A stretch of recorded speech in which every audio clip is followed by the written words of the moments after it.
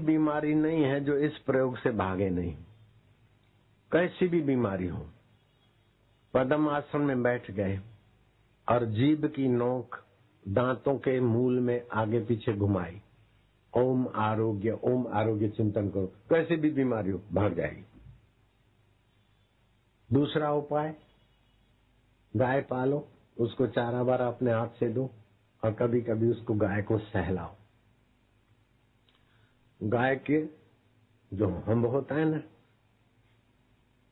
ऊपर टेकरा जैसा उधर सूर्य केतु नाड़ी होती और किसी प्राणी में सूर्य केतु नाड़ी नहीं होती। भैंस भैंस में ऊँट में किसी में नहीं गा, गाय में होती। इसीलिए गाय का मल मूत्र भी पवित्र माना जाता है। गोबर मूत्र।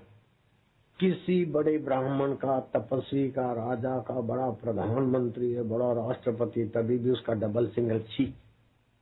लेकिन गाय का डबल सिंगल भी पवित्र माना जाता है। गाय में गो किरण होते हैं। अभी गौशालाओं में लोग फर्श बनाते हैं और गायों को ठीक रखना है। लेकिन जैसे व्यक्ति शूलों पे खड़े, किसी व्यक्ति को बोलो लोहे के शूल पर खड़े रहो तो उसको जैसे पीड़ा होती है, ऐसी गायों को फर्श पे खड़ा करने में हानि होती है।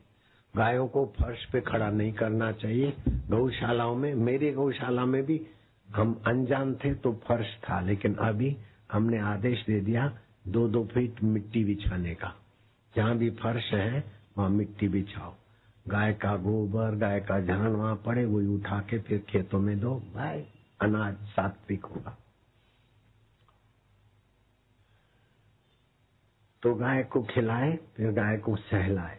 कैसा भी बीमार हो, उंगलियों के अग्र भाग से गाय की प्रसन्नता अपने शरीर में जाएगी, रोग भाग जाएँगे। राम सुखदास महाराज जी ने विल में लिखा कि अगर मेरा शरीर इधर उधर कहीं छूट जाता और गंगा किनारे नहीं ला सकते तो जहाँ गायों की धूली हो, गाय आती जाती हो, जहाँ गायों की धूली हो, चरण रज हो वहाँ मेरी अर्थी को अग्नि संस्कार करना, ये बिल्कुल पक्की बात आपको सुना रहा हूँ।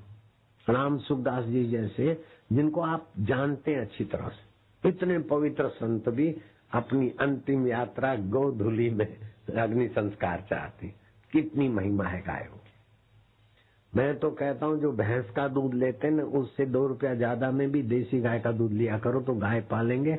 गाय का चौबीस घंटा सात्विक ऊर्जा निकलती। पीपल, गाय, तुलसी, आंवला, ये स्वास्थ्य के लिए बहुत अच्छा है और भक्ति के लिए भी अच्छा है। आपको फिर से नमस्कार, धन्यवाद। आप बैठे रहना तो मैं रेलगाड़ी में